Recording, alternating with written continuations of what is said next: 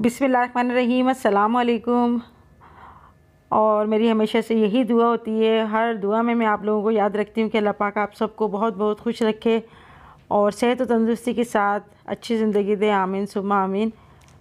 तो आज मैं सोच रही थी कि मैं क्या बनाऊँ। तो अभी मेथी अभी थोड़ी आ रही है क्योंकि अभी इसका मौसम जा रहा है और ये सर्दियों में अच्छी आती है। तो मुझे ये बहुत अच्छी लगती है।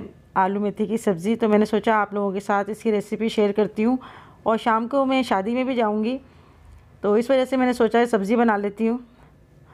और अभी बच्चों की छुट्टियाँ हैं तो बच्चे भी यहाँ पर आए हुए हैं और काफ़ी हल्ला गुल्ला करते रहते हैं सारा दिन। तो मैं आलू और मेथी की सब्ज़ी इस तरह से बनाती हूँ कि आयल में मैं काफ़ी सारा लहसुन चॉप करके डालती हूँ। और प्याज भी डालती हूँ मैं। बाद लोग सिर्फ़ लहसुन डालते हैं, मगर मैं प्याज भी डालती हूँ ताकि अच्छी सी जो है सब्ज़ी बने, थोड़ी ग्रेवी भी अच्छी लगती है इसके अंदर सूखी सूखी आलू मेथी की जो सब्ज़ी है वो अच्छी नहीं लगती।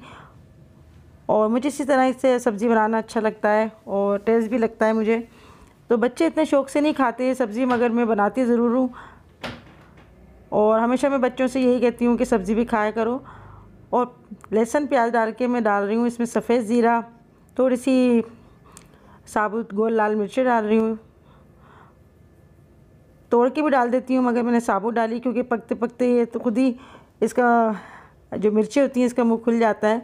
और दो तीन मैंने टमाटर डाल दिए इसमें काट कर तो इस तरह इसकी ग्रेवी तैयार कर रही हूँ मैं। और टमाटर तो मैं काफ़ी सारे डालती हूँ और हरे टमाटर मैंने लिए थोड़े कच्चे ताकि इसमें खट्टापना आए। और मैं अपने बच्चों से कहती हूँ कि सब्ज़ी खाया करो। मगर मेरे बच्चे थोड़ा नखरा करते हैं सब्ज़ी खाने में। तो मेरा शेड्यूल इस तरह होता है कि एक दिन मैं सब्ज़ी बनाती हूँ तो एक दिन दाल और फिर मैं गोश्त वगैरह बना लेती हूँ इस तरह से। तो कंटिन्यू में ये नहीं है कि सब्ज़ी बनाती रहूँ या गोश्त बनाती रहूँ।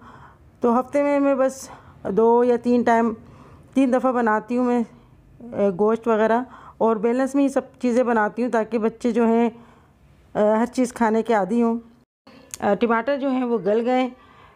तो इसको मैं चम्मच से इस तरह से मिक्स कर रही हूँ और मैंने यहाँ पर आलू डाल दिए तो आलू मैंने छोटे छोटे टुकड़े डाले हैं ताकि आलू अच्छे से गल जाएँ। और ये मैंने चार अदद आलू ले लिए थे और एक किलो मैंने मेथी लिए तो तोड़ने में काफ़ी टाइम लगा था मुझे। और आए एक चम्मच ले रही हूँ मैं कुटी हुई लाल मिर्चें। तो चटपटी आलू मेथी की भुजिया जो है वो हमारी तैयार हो रही है और आधा चम्मच मैंने हल्दी पाउडर लिया है। और आधा चम्मच मैंने लिया है कुटा हुआ धनिया और नमक डालेंगे हम हसब ज़रूरत। तो वैसे मैं नमक कम ही डालती हूँ क्योंकि नमक जो है थोड़ा कम ही खाना चाहिए और ज़्यादा तेज़ हो जाता है तो फिर उसको हम कर नहीं कर सकते। तो जिसको अगर कम लगता है वो डाल लेता है अपने हिसाब से, वरना मैं नमक और आयल बहुत कम डालती हूँ। और मेथी को मैंने तकरीबन छः सात दफ़ा पानी से अच्छे से धोया, क्योंकि इसमें किरकिराहट भी आ जाती है। और मेथी धोने के बाद मैंने इसको थोड़ा सा काट भी लिया था कैंची से। और अभी इसका सीज़न जा रहा है तो मैंने सोचा अभी बना लेते हैं, क्योंकि मौसम में ये बहुत मज़े की सब्ज़ी बनती है। और मौसम जाने के बाद इसका कोई टेस्ट नहीं रहता, क्योंकि ये इसमें अभी देख रहे होंगे आप हल्का हल्का सब पीले पीले भी मेथी के पत्ते हो जाते हैं। तो ये चीज़ें डालकर और मेथी को मैं अच्छा सा मिक्स कर रही हूँ मसाले में। तो शाम को शादी में जाएँगे हम लोग तो शादी में तो अक्सर खाने जो होते हैं काफ़ी ऑयली और चिकन और बीफ की डिशें वगैरह होती हैं। और दो तीन मैंने इसमें हरी मिर्ची भी डाल दी। और इसको हम ढककर पकाएँगे पंद्रह से बीस मिनट। तो ये हमारी आलू मेथी की सब्ज़ी जो है बहुत ही अच्छी बन जाएगी। और आप देखें, मैं पंद्रह बीस मिनट बाद दिखा रही हूँ, ये थोड़ा सा पानी है तो इसको थोड़ा सा हम भूल लेंगे। तो बस ये तैयार हो गई। तो अगर आपको अच्छी सी आलू मेथी की सब्ज़ी खानी है तो आप इस तरह से बनाएँ इन ताला आपको ज़रूर पसंद आएगी। और मैं, इसके अंदर मैं बाद में थोड़ा सा लीमू भी डाल देती हूँ तो इससे काफ़ी अच्छा टेस्ट हो जाता है। और जो मेरे बच्चे हैं पहले ये सब्ज़ी नहीं खाते थे मगर अब थोड़ी थोड़ी खाने लगे। क्योंकि अक्सर ऐसा होता है कि बच्चे नहीं खाते तो लोग यही कहते हैं क्या इनकी अम्मी ने इनको पका के नहीं खिलाया? तो हर बात जो है माँ के ऊपर ही आती है। तो मैं बच्चों से यही कहती हूँ कि माँ के ऊपर बुराई आती है कि इनकी अम्मी ने पकाया नहीं होगा खिलाया नहीं होगा बच्चों को जब भी नहीं पता। आ, बच्चे यही कहते हैं कि हम नहीं खा रहे। तो हर चीज़ ही इंसान को खानी चाहिए और अल्लाह ताला की जो चीज़ें हैं वो हमारे लिए फ़ायदा ही करती हैं और मेथी तो बहुत ही फ़ायदेमंद है। इससे खून भी साफ़ होता है, खून भी बढ़ता है और बहुत ज़्यादा इसके फ़ायदे हैं। तो देखें कितनी जूसी की हमारी आलू मेथी की सब्ज़ी तैयार हुई है। और सुबह नाश्ते में भी बहुत ही मज़े की लगती है और उसको आप अगर चाहें तो लीमू भी ऊपर से और डाल के खा लें। बहुत ही मज़ा करेगी इन ताला। और आप लोगों को मेरी रेसिपी अच्छी लगती है, आप ट्राई करते हैं तो यकीन माने मुझे बहुत खुशी होती है कि आप लोग भी ट्राई करते हैं और कोशिश करते हैं और आपको पसंद भी आता है। अल्लाह पाक आप सबको बहुत खुश रखे। तो खाना आने से फ़ारिग होकर मैं बाज़ार गई थी मोहत्तर के साथ और वहाँ समझ में नहीं आ रहा था मैं क्या गिफ्ट लूँ तो मैंने यहाँ पर जग और गिलास का सेट ले लेता है ये मुझे काफ़ी अच्छा लग रहा था और काम में भी आने वाली चीज़ें तो मैं यही कोशिश करती हूँ कि किसी को गिफ्ट दूँ तो उसके काम में आए। और अल्लाह पाक उनको बरतना नसीब करे। और लड़कियों की शादी में तो ऐसी चीज़ें अच्छी लगती हैं गिफ्ट वगैरह या सूट वगैरह दे दो, मगर बरी और जहेज़ में काफ़ी सारे सूट आ जाते हैं।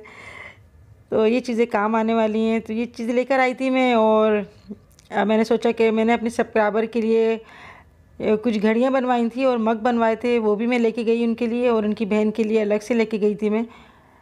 और तैयार वैयार होने के बाद मैंने सोचा इनको पैक कर देती हूँ। तो मोहतर हसन को तैयार कर रही है और मैं यहाँ पे गिफ्ट पैक कर रही हूँ।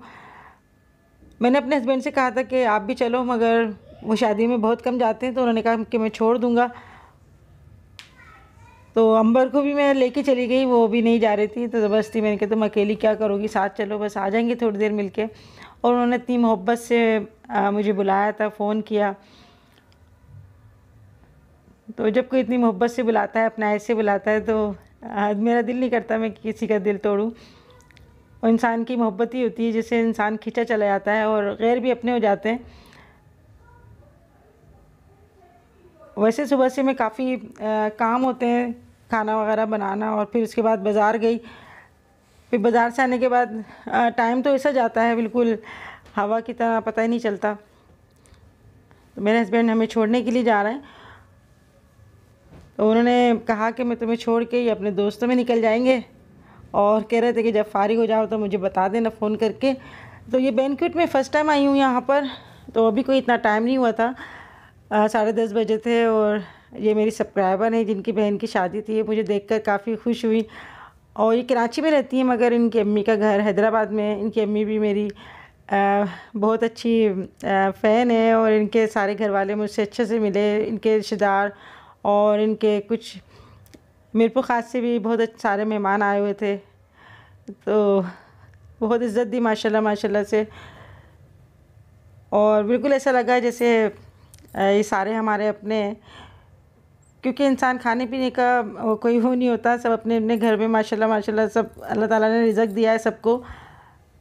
मेन जो होता है मोहब्बत होती है, कोई मोहब्बत से बुलाए तो ज़रूर जाना चाहिए।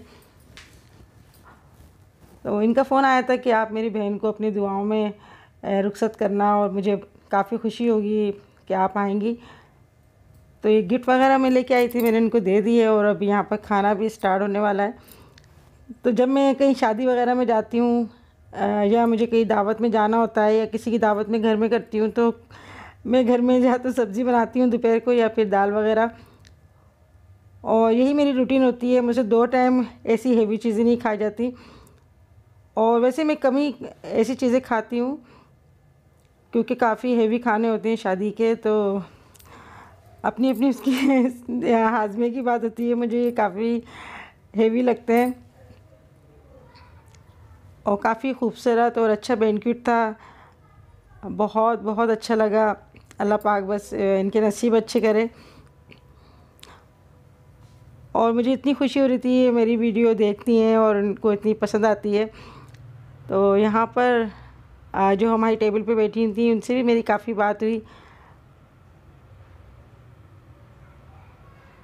और मेरी तो यही दुआ होती है अल्लाह पाक से कि, अल्लाह पाक सब लड़कियों के नसीब अच्छे करे वो जहाँ भी जाएँ माँ बाप को यही खुशी होती है कि हमारे बच्चे खुश रहें और माँ बाप को क्या चाहिए होता है।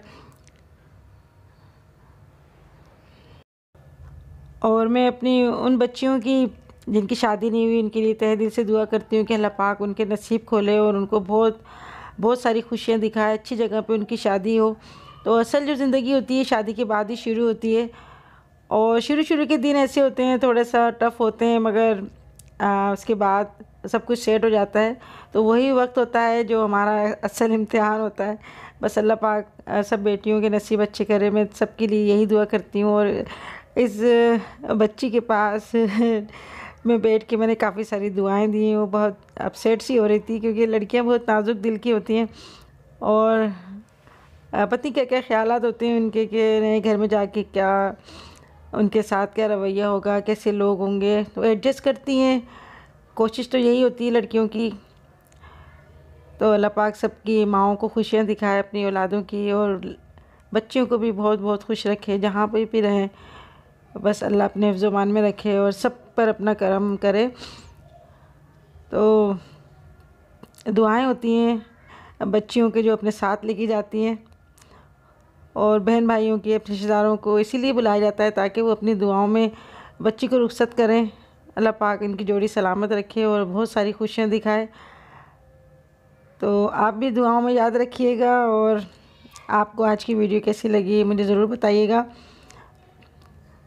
तो मैंने सोचा कि मैं जा रही हूँ तो आप लोगों को भी अपने साथ शादी में लेके जाती हूँ क्योंकि आप लोग सब मेरे फैमिली मेंबर की तरह हैं और आप लोगों को मैं इसी तरह समझती हूँ। जितनी मोहब्बत आप लोग करते हैं उससे ज़्यादा मुझे भी आप सबसे है और सब मेरे लिए काबिल एहतराम है। तो अल्लाह पाक सबके घरों में ढेर सारी खुशियाँ दिखाए, हर मुसीबत, हर अफात और हर बला से, हर वबा से बचाए हमारे पाकिस्तान को और हमारे जितने भी दुनिया में मुसलमान हैं और गैर मुसलमान हैं, सबको अपने ज़ुबान में रखे। फिर मिलेंगे। अल्लाह हाफिज़।